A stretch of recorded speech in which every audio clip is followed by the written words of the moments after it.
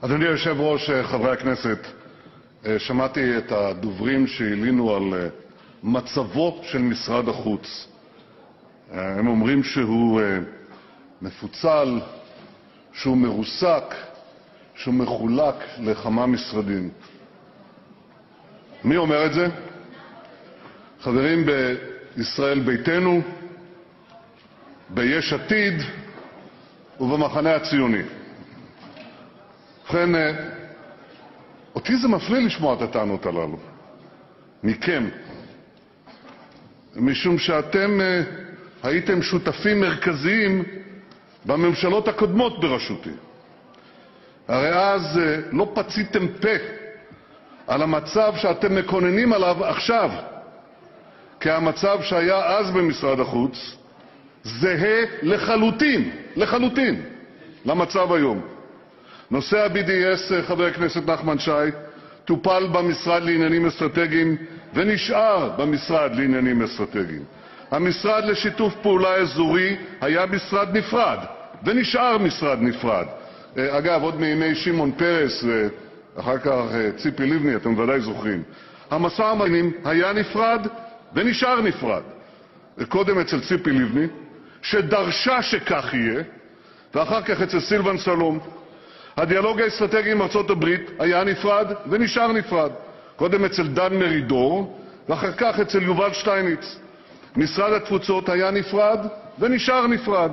קודם אצל יולי אדלשטיין, ואחר כך אצל נפתלי בנט. משרד ההסברה היה נפרד ונשאר נפרד. ובכן, שום דבר לא השתנה. שום דבר. בזמן שאתם הייתם בממשלות הללו. לא שמעתי מכם אפילו הברה, לא על הפירוד והפיצול הזה. להפך, תמכתם בזה, אפילו ביקשתם חלקים מזה. שום דבר לא השתנה זולת דבר אחד, העובדה שאתם היום באופוזיציה.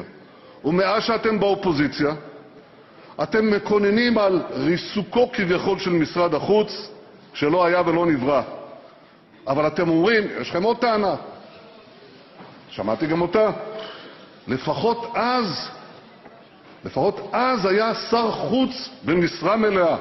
טוב, אפשר להתווכח על זה, אבל על דבר אחד אי-אפשר להתווכח. במשך קרוב לשנה אני הייתי שר החוץ, ועשיתי זאת לבקשתו המפורשת של אביגדור ליברמן, שלא רצה שאמנה מישהו אחר. וזה נעשה, הסידור הזה, בתמיכה, שנה בערך.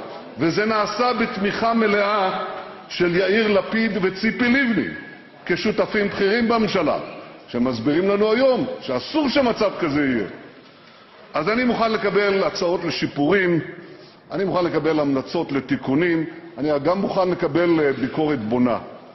אבל דבר אחד, דבר אחד, ידידיי, אינני מוכן לקבל, וזה הצביעות שלכם שזועקת לשמיים. יש גם מדינות רבות אחרות, אין כל כך הרבה מדינות בעולם, יש כ-200 מדינות. ובכן, אנחנו מקיימים 161 יחסים דיפלומטיים 161 מדינות, אבל אין זה אומר שאיננו מקיימים יחסים אחרים עם עשרות רבות של מדינות נוספות. אני יכול לספור בעשר אצבעותי את מספר המדינות שאינן מקיימות יחסים עם ישראל ושאנחנו איננו מקיימים יחסים איתן. לא עם צפון-קוריאה, לא עם איראן, גם לא עם מדינת "דאעש" ולא עם מדינת החות'ים, זה נכון. אבל אנחנו מקיימים יחסים מלאים ויחסים אחרים עם רוב רובן של מדינות העולם. מי שמבודד זה לא ישראל בקשריה עם הקהילייה הבין-לאומית, אלא המדינות שאין להן קשרים עם ישראל, והמספר הזה הולך ומצטמצם כל הזמן. אנחנו uh, שומעים את הדברים שלכם, אתם uh, מציינים את המוכר והידוע, את החד-צדדיות נגד ישראל באו"ם ובפורומים בין-לאומיים, וגם ובמיוחד ביבשת אירופה, במדינות מסוימות שאתם מבקרים שם, ששם עולים מיעוטים מוסלמים וחוברים יחד לשמאל אנטישמי ופועלים נגדנו. חלק מזה הוא סיפור חדש, אבל חלק מזה הוא סיפור ישן. אני עסקתי בו באו"ם לפני 30 שנה, כשהייתי שם שגריר, וכמה עשרות שנים לפני כן בן-גוריון ביטל את העליהום הקבוע על ישראל במוסדות האלה, הוא אמר או"ם שמום. טוב, אז בזה אין שום חדש. אבל מה שחדש, ואתם מתעלמים מזה לחלוטין, מבטלים את זה כלאחר יד, מה שחדש זו הצמיחה המדהימה של מספר המדינות שבאות אלינו בקצב מדהים במטרה להדק את הקשרים אתנו. אמרתם איזה מדינה קטנה, זוטרה. יש גם כאלה, אבל מעצמות עולמיות. בכל התחומים. כך עשינו. אני מודה לראש ממשלת ישראל חבר הכנסת בנימין נתניהו.